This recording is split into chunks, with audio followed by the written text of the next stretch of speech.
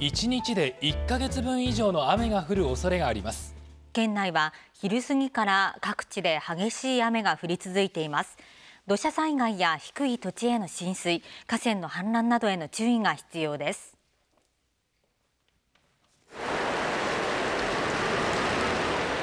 午後2時の静岡市内です激しい雨となり傘を差して足早に通り過ぎる人たちの姿が見られます県内では低気圧や前線に向かって暖かく湿った空気が流れ込み大気の状態が非常に不安定になっています。山間部を中心に昼ごろから各地で激しい雨となって静岡市内でも断続的に雨が降り続いています。静岡市の井川では午後5時ごろまでの12時間に114ミリ浜松市の佐久間では120ミリの激しい雨を観測しました。午後5時過ぎの静岡市内です。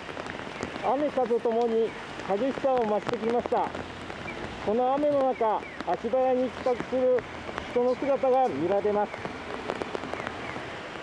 この時間さらに雨足が強くなっていてあさって正午までの48時間に県内では多いところで550ミリの大雨が予想されています。